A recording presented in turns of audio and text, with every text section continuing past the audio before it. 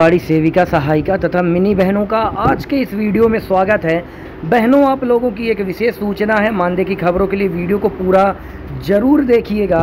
तो विशेष सूचना बहनों, आप देख सकती हैं कि 26 जुलाई को बहनों, आप लोगों का जो भोपाल में रैली था, वो तो असर में आया ही है। लेकिन सभी कार्यकर्ता, सहायिका तथा मिनी कार्यकर्ता बहनों को यह सूचित किया जाता है कि 5 अगस्त 2023 को राज्य स्तर पर कार्यक्रम जो रहेगा भोपाल के नीलम पार्क में फिर एक बार रैली बोलिए या हड़ताल बोलिए, वह होने वाला है। तो जी हाँ बहनों 26 जुलाई को रैली किया गया था, जिसमें ज्ञापन तो सौंपा सौंपा ही गया था राज्य सरकार को, लेकिन इस एक बार फिर 5 अगस्त 2023 को भोपाल के ही नीलम पार्क में इस कार्यक्रम को किया जाना है, और इस कार्यक्रम में सभी कार्यकर्ता, सहायिका तथा मिनी कार्यकर्ता बहनें बड़ी संख्या में उपस्थित हों।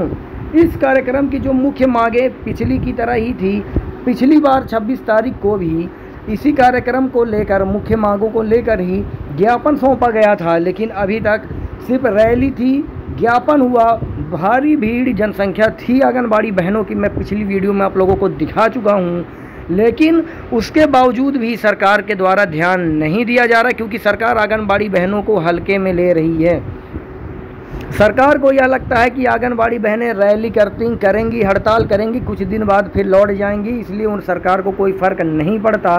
तो इस बार बड़ी संख्या के साथ पाँच अगस्त को फिर से जो है कि रैली की जाएगी, जिसमें मुख्य मांगों में आप देख सकते हैं कि आंगनबाड़ी सहायिका और मिनी कार्यकर्ता के जो मानदेय में विसंगति हुई थी, आपको पता है कि पंद्रह सौ रुपये की मानदेय को की वृद्धि की घोषणा की गई थी, लेकिन उसको सिर्फ़ साढ़े सात सौ रुपये ही किया गया। मतलब पंद्रह सौ रुपये सरकार के द्वारा बोला गया था, पर फिर मात्र साढ़े सात सौ रुपये ही बढ़ाए गए थे। और सरकारी कर्मचारी का जो दर्जा है, इसको लेके कई समय से, कई सालों से मांग चल रही है कि आंगनबाड़ी बहनों को सरकारी कर्मचारी का दर्जा दिया जाए। न्यूनतम वेतन भी उनका फिक्स कर दिया जाए। अठारह हज़ार, बीस हज़ार, जो भी उनका न्यूनतम वेतन था, जो ग्रेजुटी वाला जो पंद्रह सौ रुपये हर महीने के काटे गए थे पिछली सरकार में, वह पूरी ग्रेजुटी का उनको पैसा दिया जाए, जो कि अभी तक में टोटल चालीस से पैंतालीस हज़ार रुपये तक होता है बहनों। तो ख़ास तौर से सभी कार्यकर्ता, सहायिका, मिनी कार्यकर्ता बहनें जो हैं, इस कार्यक्रम के महत्व को समझें और बड़ी से बड़ी संख्या में भोपाल के इस कार्यक्रम में, इस रैली में, हिस्सेदारी में अपना योगदान करें। हमें अपनी ताकत को दिखाना है इस बार भोपाल में, ताकि हमारी जिन मांगों को लेकर हम लड़ रहे हैं, उन मांगों को पूरा करने के लिए सरकार को विवश होना पड़े। और यह एकता यूनियन जो है, आंगनबाड़ी का सीटू, उसकी जो मुख्य सचिव किशोरी वर्मा जी हैं, उनके द्वारा यह चीज़ कहा गया है।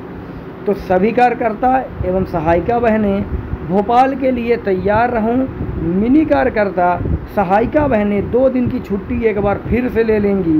वैसे भी सरकार किसी न किसी काम के बहाने आप लोगों का जो मानदेय है वह तो काट लेता ही है बहनों। तो एक दो और छुट्टी लेने से कोई फ़र्क नहीं पड़ने वाला है। दो बहनों दो दिन की छुट्टी ले लेंगी, भोपाल चलें। अभी भी मौका है, क्योंकि आपको अच्छे से पता है कि जुलाई के बाद अगस्त में आचार संहिता लग जाता है। जी हाँ जुला, अगस्त जैसे ही ख़त्म होगा तो आचार संहिता लग जाएगा। एक ही महीने का आपके पास टाइम है।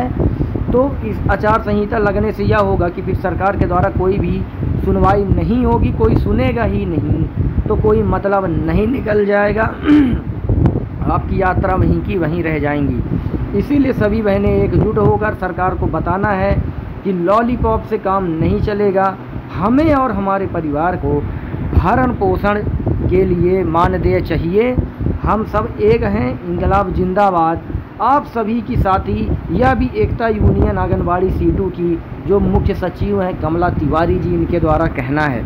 तो बहनों, एक इस बार रैली में ज़्यादा से ज़्यादा मात्रा में आप लोगों को जुड़ना तो है ही। वीडियो पसंद आए बहनों, वीडियो को आप लोग लाइक ज़रूर कीजिएगा। शेयर ज़्यादा से ज़्यादा करिएगा। जो लोग चैनल पर नए, चैनल को आप लोग सब्सक्राइब कर लीजिए। इसी के साथ बहनों, हम मिलेंगे अगली वीडियो में कुछ आपके मुख्य मानदेय खबरों के साथ। तब तक के लिए नमस्कार।